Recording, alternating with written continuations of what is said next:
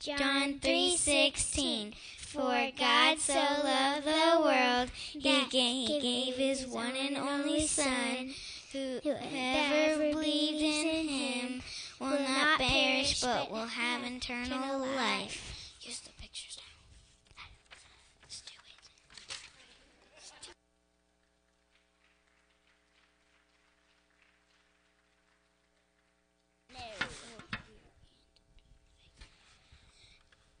God bless you and have a great night.